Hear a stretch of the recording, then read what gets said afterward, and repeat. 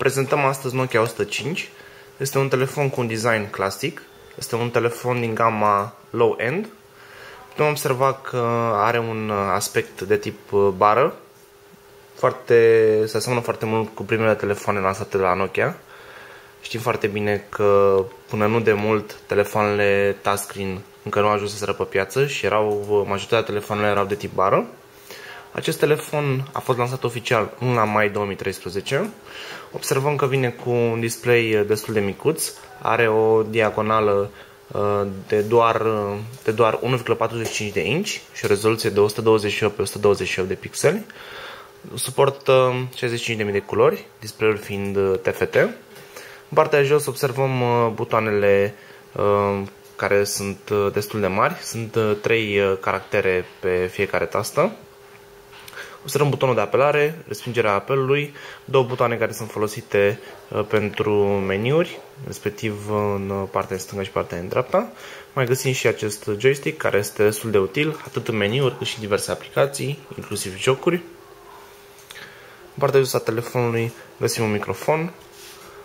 În partea de sus găsim un uh, jack de 3,5 mm pentru căști. Găsim un, uh, un slot pentru încărcător cablu Nokia subțire Găsim uh, o lanternă care poate fi activată destul de ușor. Este și un shortcut clasic uh, dacă dăm apăsăm de două ori în partea de sus a joystick-ului. Pe partea în spate a telefonului observăm un loc pentru difuzor. Dacă ne interesează meniul telefonului, trebuie să vă spun că este vorba de un sistem de operare propriu. Suntem uh, destul de familiarizați cu el. În partea de sus găsim un indicator al bateriei, rețeaua, Uh, meniu, respectiv un uh, shortcut către diverse aplicații. Memoria internă este de 8 MB pentru stocare fișiere, suportă până la 500 de contacte. Observăm uh, shortcut către mesaje, un registru de apeluri, se stochează ultimele 30 de apeluri primite, ultimele 30 de apeluri efectuate și ultimele 30 de apeluri ratate.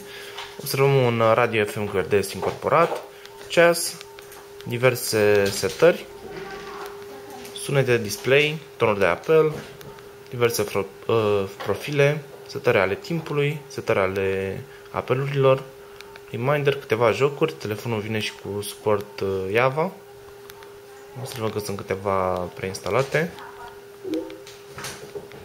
extra, calculator, convertor de unități, timer, un registru al simului, fiind uh, ultima aplicație din, din meniu, Trebuie să mai spun că telefonul vine cu o baterie lithium-ion de 800 mAh, BL-5 CB. Conform producătorului rezistă până la 840 de ore modul așteptare și până la 12 ore și 30 de minute modul vorbire. Aceasta este prezentarea telefonului low-end Nokia 105. Pentru mai multe detalii vă așteptăm pe site-ul nostru telefonul tău.eu.